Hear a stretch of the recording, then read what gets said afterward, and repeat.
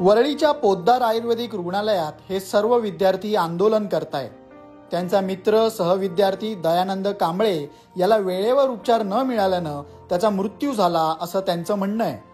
याला सर्वस्वी डीन आणि डॉक्टर जबाबदार असल्याचा आरोप ते करतायत हा नेमका प्रकार काय पुढच्या काही मिनिटात जाणून घेऊया.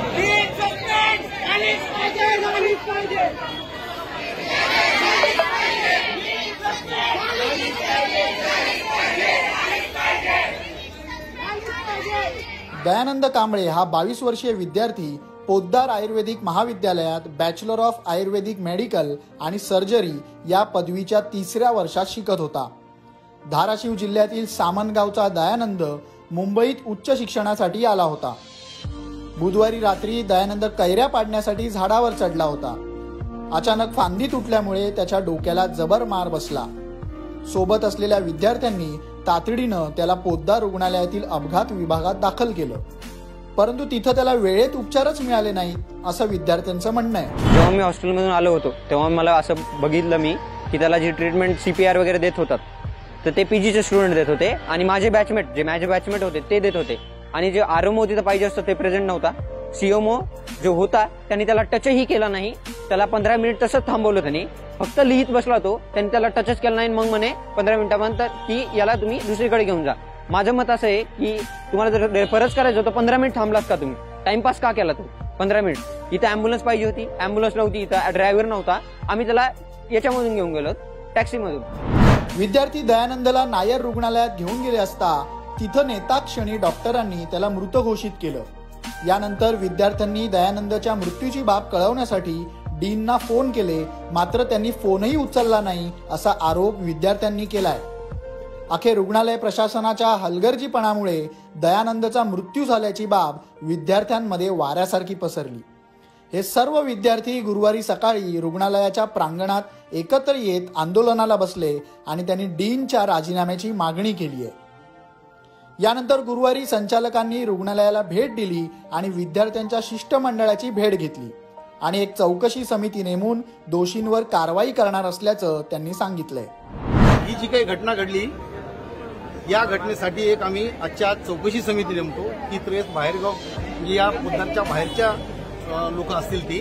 आणि ती समिती दहा दिवसाच्या आत जो कोणी दोषी असेल त्याच्यावर त्यांची आम्हाला माहिती देतील ती. आणि त्यानंतर आम्ही त्याच्यावर कारवाई करू. टेक्निकल असल्यामुळं आमच्याच दुसऱ्या महाविद्यालयाचे अधिष्ठाता आणि अन्य प्राध्यापक या कमिटीमध्ये असतात. शासनाकडे जी काही नियमाप्रमाणे असेल तशी मदत मदत मिळवण्यासाठी प्रयत्न करू.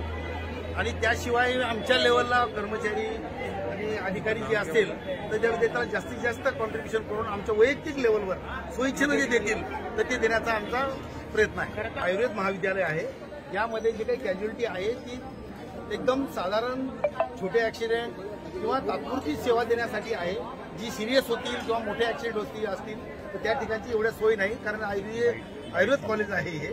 आणि तेवढे पूर्ण इक्विपमेंट किंवा एवढं मॉडर्नच्या इतकं इथं सुविधा या ठिकाणी नाही अँब्युलन्स आहे पण तीन अँब्युलन्सला ड्रायव्हर नसल्यामुळं तर त्यावेळेस रात्री त्यावेळेस नव्हती. ती का नव्हती काय नाही याची पूर्ण चौकशी करण्यात येईल. आणि चौकशी करून त्या जे पण गोष्टी असतील त्याच्यावर कारवाई करण्यात विद्यार्थ्यांच्या या आंदोलनानंतर राजकीय नेत्यांनी देखील रुग्णालयाला आणि विद्यार्थ्यांना भेटी दिल्या.